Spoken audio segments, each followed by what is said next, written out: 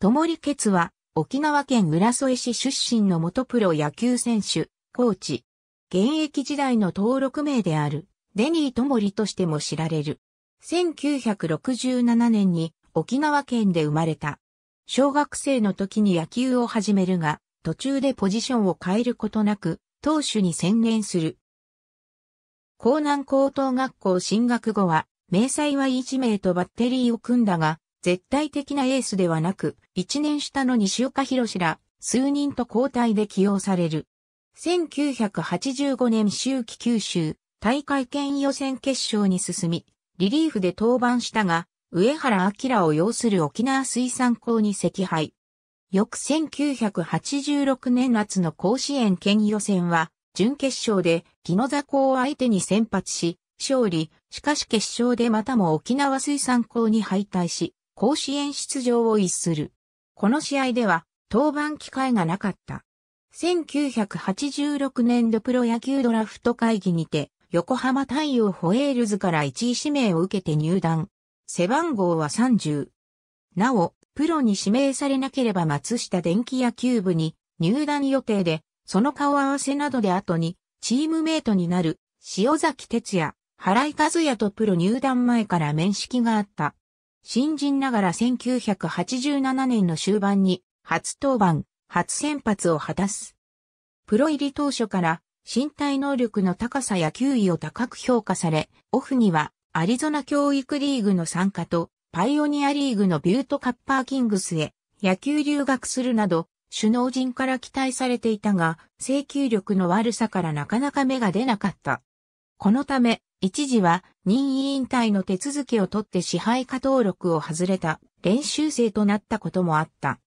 このままでは活躍できないことから、投球フォームをサイドスローへ変更したところ、これによって長年指摘され続けていた制球力の悪さが改善され、潜在能力を開花させることになる。1995年、登録名をデニートモリに変更。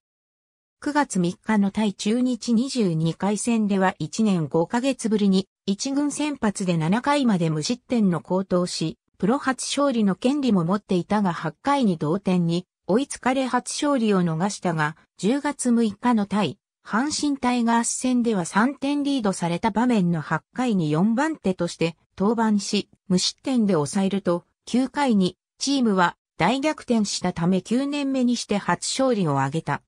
翌日の7日の対中日ドラゴンズ戦では3番手として登板して3イニングを無失点で抑え試合を締めくくり、プロ初セーブを挙げた。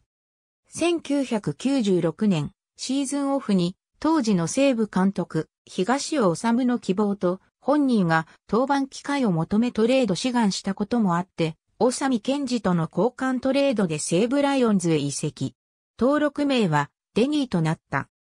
1997年、同じサイドスローの香取義隆、塩崎哲也の助言を受けて才能が再び開花し、中継ぎ投手として勝利に貢献。当時監督だった東尾治からコントロールに自信なんてないだろ。全力で腕を振って投げろ。バッターが怖がるからと言われたことで、ピッチングのコツをつかんだという。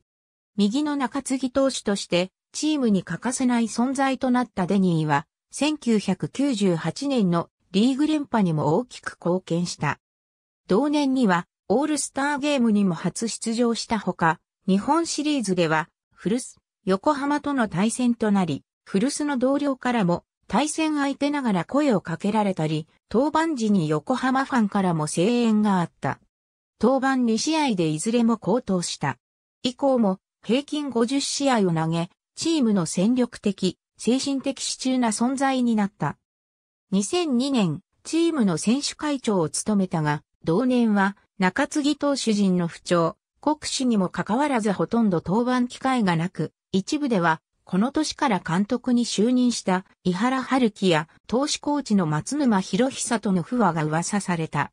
夏以降は日本シリーズを見据えて調整していたが、日本シリーズの出場有資格リストからも外れた。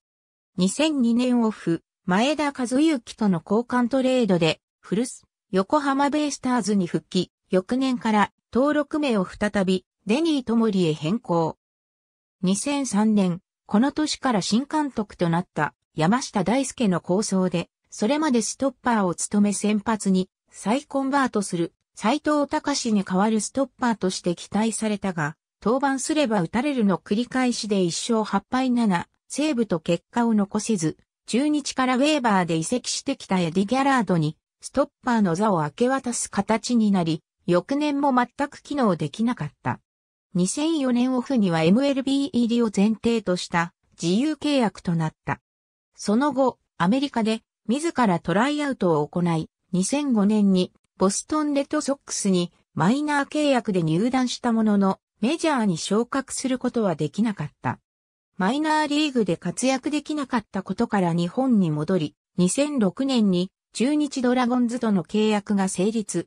登録名はデニー、トモリとすることも合わせて発表された。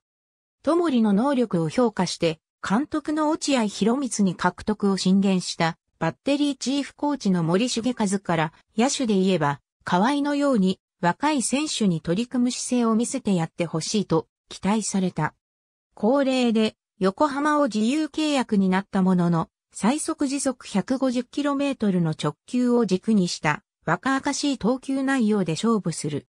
シーズン当初は不安定だったもの、6月14日の対西武ライオンズ戦から徐々に安定感が増し、中日の中継ぎに欠かせない投手となった。チームの優勝に貢献したが、日本シリーズでは登板機会がなかった。2007年は登録名を再びデニーとした。同年はシーズンの大半をウエスタンリーグで過ごし、レギュラーシーズン終了前に戦力外通告を受けた。落合の計らいもあって、同年10月4日の本拠地最終戦が対談試合となり、同年限りでの対談を表明した。現役続行の可能性を残していたが、オファーはなく、同年11月27日に現役引退を表明。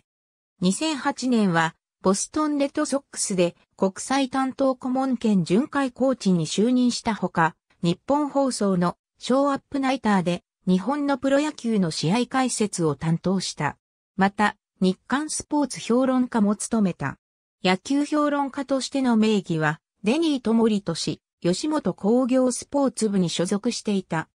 同年に行われた、リコープレゼンツ、MLB 開幕戦では、レッドソックスのチームスタッフとして、松坂大輔、岡島秀樹に同行して参加している。2012年からは横浜 DNA ベイスターズの一軍投手コーチとして現場復帰することになった。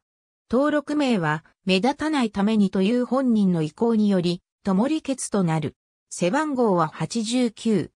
登録名はともりとしたものの、長年デニーを登録名としていたためか、しばらくするとほとんどの人がデニーと呼ぶようになったという。投手を前面に出した指導を主にし、投手の交代時やピンチを招いた時に、マウンドへ行き、投手の胸を軽く叩く、闘魂注入を行うことがよくあり、グッズとして闘魂注入パーカー等が当時販売されていた。投手陣の予支給が大幅に増え、2012年は480、2013年は551、と2年連続で12球団ワーストの予支給を記録した。